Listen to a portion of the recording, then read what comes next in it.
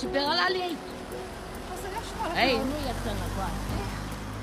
In July 2019, I saw a dog laying down beside some parked cars at a very busy intersection. I called him and he came to me very happy and friendly.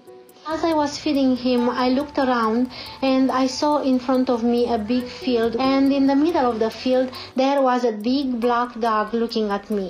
I noticed that he had something tied up around his neck. Right away I knew that he needed help. Come here, come here.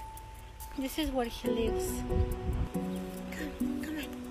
I started calling him and I showed him the food, but he didn't come close to it. He looked hungry and thirsty and very scared. Come on, come here, come here. I was told that the dog with the scar was abused and the black dog in the fields was a bad dog and people were trying to kill him. The dog on the street, I picked him up and I found myself walking with him to the car. I put Scar in the car but the dog in the fields kept the distance.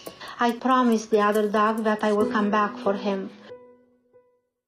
I spent many days trying to get close to him.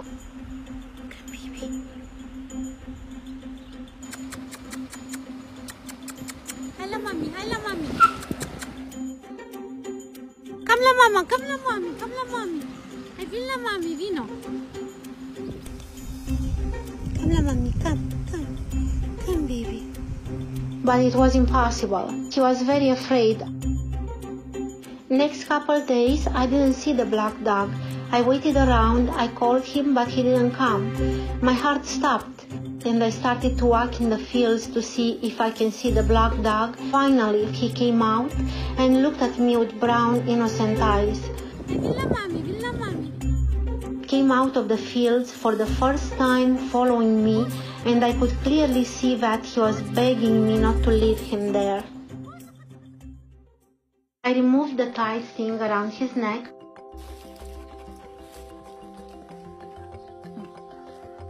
I left to Canada, but I knew I left them in good hands. I came back to Romania to pick them up after three weeks. We drove over four hours to Bucharest. This was the first time for Scar and Shine in a car. They've been so good. They behaved like they knew that was their trip home. Scar and Shine arrived in Canada after 23 hours of travel.